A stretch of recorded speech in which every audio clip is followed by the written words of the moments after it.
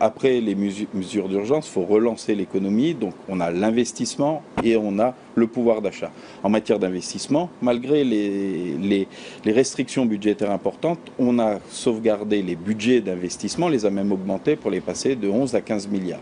On a également soutenu l'activité du BTP et celle du logement euh, par la défiscalisation du logement intermédiaire, c'est-à-dire du logement pour les classes moyennes. Pour, ça va permettre... cela d'ailleurs, Philippe Germain, vous êtes confiant par rapport à la, justement aux mesures de défiscalisation, ça va être pérennisé, poursuivi? Alors d'abord, ça c'est un, c'est un dispositif calédonien, donc on est confiant. C'est, euh, ça va permettre de créer 800 logements par an euh, sur 5 ans, c'est-à-dire une enveloppe de 20 milliards, la Nouvelle-Calédonie prenant en charge 30% du coût de ces logements.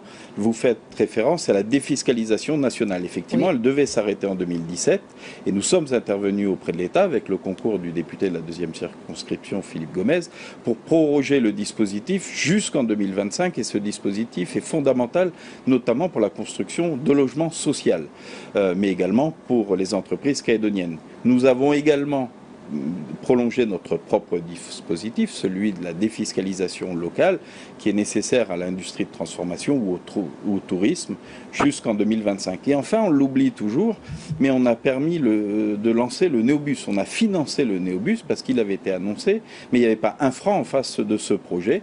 Donc on a effectué un prélèvement sur la marge euh, des pétroliers de 3 francs et 1 franc sur le consommateur, donc 4 francs au total, pour financer 20 milliards de travaux aux entreprises et surtout cette petite révolution qu'est le néobus dans le transport en commun urbain et propre.